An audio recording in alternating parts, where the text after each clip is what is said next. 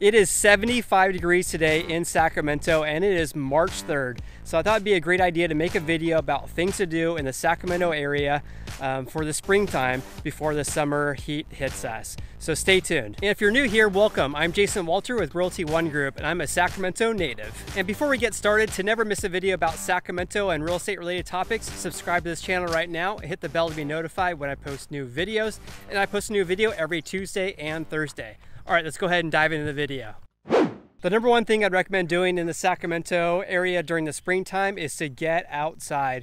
Temperatures are absolutely perfect. They're typically in the 70s to 80s um, before we hit the 90s of the summertime. So you can get out here to the American River Parkway, where I'm at right now.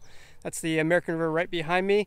And just behind me is the American River Bike Trail, which is a 32 mile bike uh, trail that runs from downtown Sacramento all the way to Folsom Lake. I talked about it a bunch in my other videos. But on the American River here, you can go fishing, you can go trail running just behind me, and a lot of other activities outside. In addition, you can head up to Tahoe. It's only about an hour and a half away. And during this time of year, the roads are very clear. There's no snow on them. So it takes about an hour and a half to get there. And you can go to one of 14 ski resorts in the Lake Tahoe region to do some spring skiing. And one of my favorite resorts is actually Kirkwood. I actually used to have a pass there for many, many years and lived up in South Lake Tahoe actually to do some skiing a long, long time ago. But some other resorts I really like are Sugar Bowl and Heavenly. And Heavenly has some amazing, amazing views of Lake Tahoe if you want to go check out that.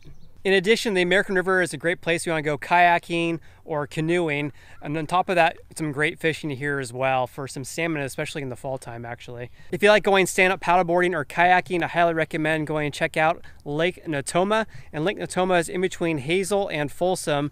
Um, and it's uh, in between the Nimbus Dam and the Folsom Dam. Great place to go and go check that out, especially on the Folsom side, closer to the Folsom Dam. There's some granite rocks that come out there.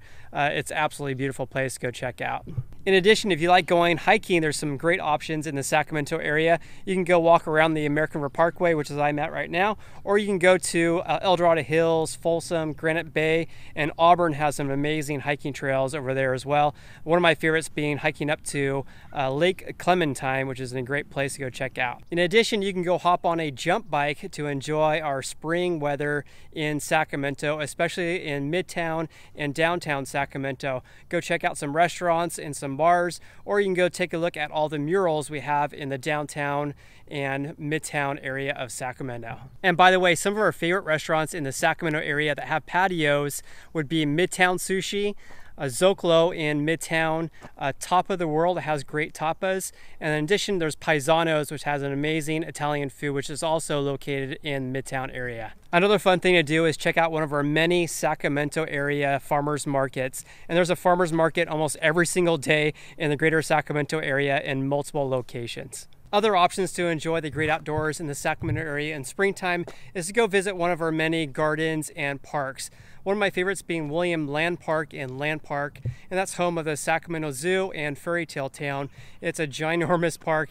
It's a great place if you want to go for a walk or a jog or just uh, sit and relax. On top of that, of course, there's McKinley Park in East Sacramento, one of my favorite parks in all of Sacramento. They have a kids playground there, a basketball uh, court, uh, and also if you run around the whole park, it is one mile, so it's really easy to keep track of your mileage if you don't have Strava or a GPS-based uh, watch. Or you could drive 20 minutes west and go to the UC Davis Arboretum and explore all the gardens they have over there. In addition to enjoy our spring weather in the Sacramento area, you can go for a walk along the parkway here, of course, but you can go to East Sacramento and go look at all the beautiful homes in the fabulous 40s or go do some uh, shopping at one of the many boutique shops in Midtown Sacramento.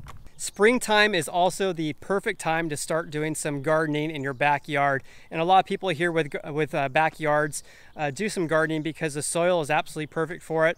And on top of that, our weather is also really conducive to uh, growing fruits and vegetables and herbs.